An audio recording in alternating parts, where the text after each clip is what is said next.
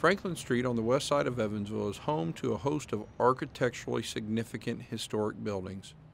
One of the few remaining industrial buildings on Franklin Street is located at 1825 West Franklin.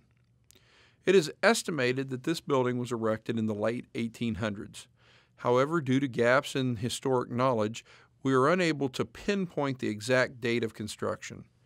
It is known, though, that the building was occupied by McPherson and Foster Box Company from 1900 to 1926.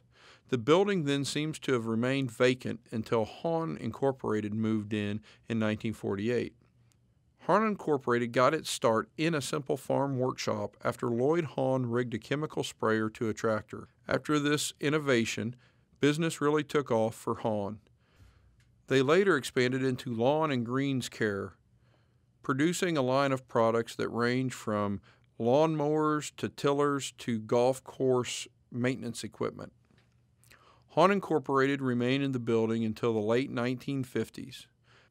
Hoosier Stamping Corporation moved in in the 1960s.